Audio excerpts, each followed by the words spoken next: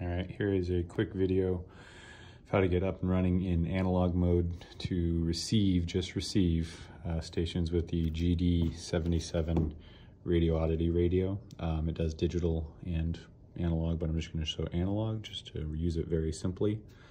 Uh, so the goal here is just to go in analog regular mode uh, and scan for frequencies. This radio has a lot of capabilities. I had an issue getting it up and running.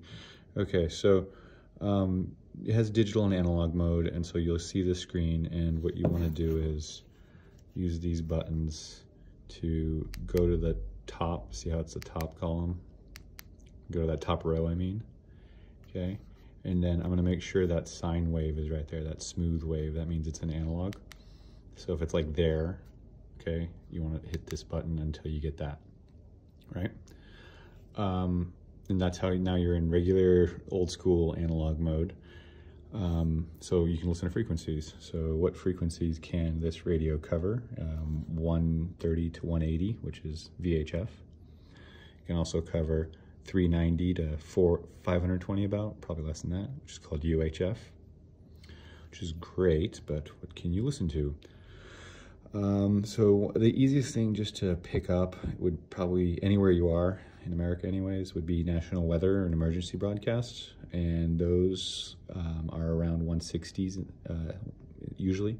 So in San Francisco it's 162.4 so I'll try that with uh, the arrow pointing there. I'm gonna go one, six, two, four and just put in a bunch of zeros. There we go. Monterey Bay buoy winds northwest 8 knots.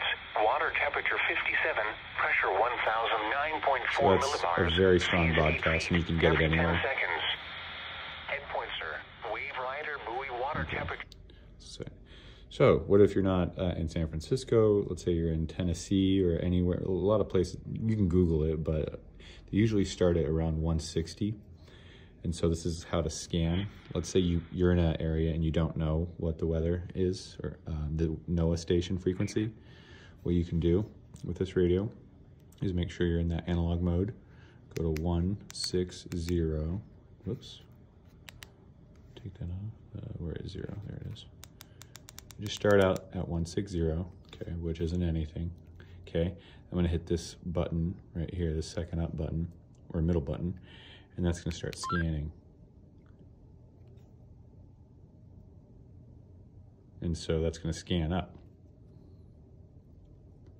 Start searching for stations. It's going to take a second because it's going to go up to 162. Um, if you hit it, if you want to pass a station, you just hit scan it. Use these to scan up and scan down. Stop it. Go up. Go down. It's at 161 right now. I'm in San Francisco, so it should stop at 162.4. There you go. Winds will diminish. So this would be great because if I was in the middle of nowhere, I could pick up the weather station. And this is basically everywhere. Um, so how to find stations like I just did. Uh, you can start at 160s or and scan up, or you can, if you don't know any like about any of the frequencies where you are, you can just start anywhere in, you know, 130 or anywhere, and just, um, for example, if you have no idea where you're scanning from, 130 this thing does work. Whoops. One, four. There we go. Okay. So I don't like, if I want to scan from 140 up, that's fine. So I'm going to hit that scan up button. Just going to start looking for anything to listen to. It could be the radio, national weather. It could be police stations. It could be local ham amateurs broadcasting. Um, so that's one thing. Uh, another thing you can listen to is the emergency bands like police, law enforcement. Um, that's pretty neat. Um, depending on where you are, um, in San Francisco, they broadcast at 880 megahertz up, so this radio cannot uh, cannot receive it. Uh, but in a lot of rural areas, um, or not rural, I shouldn't say, just not um, San Francisco. I've been in like up in Napa, I think they have um, their police frequency on the 160s or the 460s. So let's say you're in Tennessee, Murfreesboro, Tennessee. You can look it up on the internet. You just say Google search, um, you know, police frequency. Oh, I hit something. I'll keep scanning. Um, you can find these on the internet. You just Google search your town to say police frequency, and then you'll it's just there. So in Murfreesboro, Tennessee, it's 460.050. So if I was in Murfreesboro, Tennessee, I don't have to switch modes or anything. This top line can do both. It can go the one 100 series and go up to the 400 megahertz real quick. So I'm gonna try to get this, even though it won't work. I'm just gonna go. I'm just gonna enter it. I'm gonna go four, uh, six, zero zero, whoop, fuck, zero, five, zero. Okay. All right, and that's nothing because I'm in San Francisco, not in Tennessee, but that would probably pull up Law Dispatch in Tennessee and I could listen to them. Um, and you can go to different frequencies. Um, you can search them. Look, if you go here, and so this is the Rutherford County Emergency.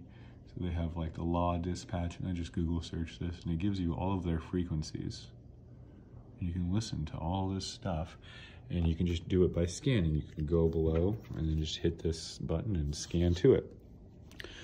Um, you can also go on um, ham radio, uh, amateur radio, because this don't transmit if you don't have a license, but this thing can transmit. I'll go into that in another video.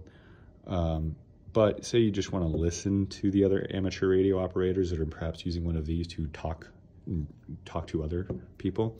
They, they sometimes do it through a repeater, which is just a stronger a repeat. It repeats and broadcasts it at a higher or stronger uh, power.